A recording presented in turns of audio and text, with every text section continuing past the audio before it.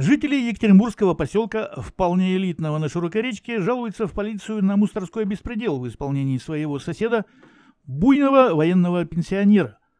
Он сейчас с ними воюет с помощью взрыв пакетов, топоров и заваливания нечистотами. Люди, обитающие в коттедже номер 14 по улице Ландышевой, чью приору он использует как мусорку и всячески на нее гадит, рассказывают, что пациент – собственно, не столь элитный житель, и он из многоквартирного человека неподалеку. Но вот специально ходит к ним.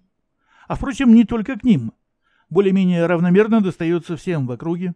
Говорят, что одинокий мужчина, время от времени по душевной хвори отлеживающийся в стационаре, совсем съехал с катушек чуть более месяца назад, когда попался на магазинной краже и благодаря видеофиксации стал звездой соцсетей, ну и типа за это стал всем сразу мстить.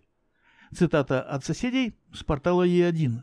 Никакого конфликта с ним не было. 4 апреля он хлеб в магазине украл, и с этого момента у него понеслось. Угрожает убийством, оскорбляет. Вчера соседям писал, что точит топор на них, ходит по домам и разбрасывает везде мусор.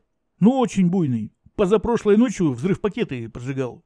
Конец цитаты. Разгадка может таиться в том, что, поливая продуктами питания приору, припаркованную, между прочим, хозяином у собственных ворот в тупичке, где она никому не мешает, мужчина как бы демонстрирует, что тот эпизод с кражей хлеба был досадной случайностью, и воровал-то он чисто ради развлечения, а вовсе не с голодухи. Вот, смотрите, бутылку молока могу себе позволить на вас извести. Мне одному военной пенсии вполне хватает. После нескольких заявлений на него полицейские восьмого отдела доложили, что предпринимаются меры, проверка проведена, с пациентом проведена профилактическая беседа. Более того, участковые проведут с ним еще какую-то профилактическую работу.